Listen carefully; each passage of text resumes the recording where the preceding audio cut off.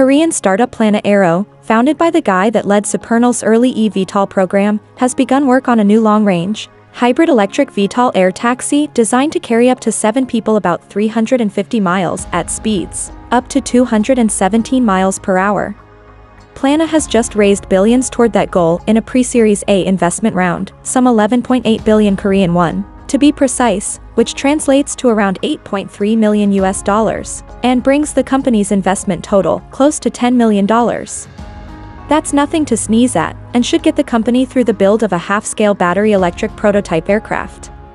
The machine in the concept renders has a fairly unique look, its long, thin fuselage sweeps out into an upper main wing, and a knife-thin pair of canards extend from lower down the main tube up front.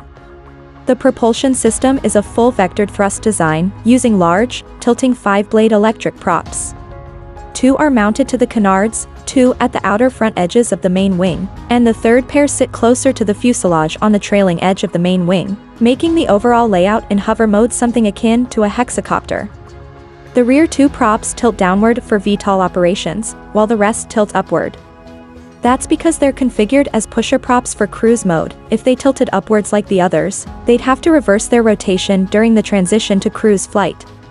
That's fine for flight dynamics, but on the other hand it places these large props right at a person mincing height on the ground.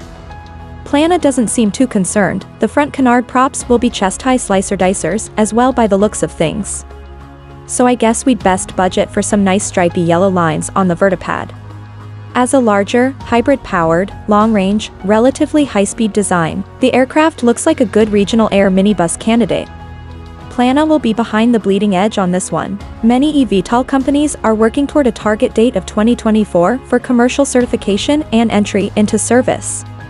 Plana's roadmap would get a demonstration aircraft built by 2024, and a fully certified machine into production by 2028. On the one hand, this means Plana will be letting other companies trailblaze a path through the red tape of certification.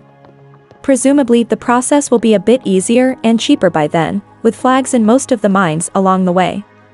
On the other hand, the eVTOL gold rush of 2020 to 21 appears to be well and truly over. The harsh reality of the challenge is setting in, and while Plana is off to a solid start with a 40-person team, it might find it hard to raise funds toward a brutally expensive certification and production push once there's a few high-profile corpses, littering the climb to the summit.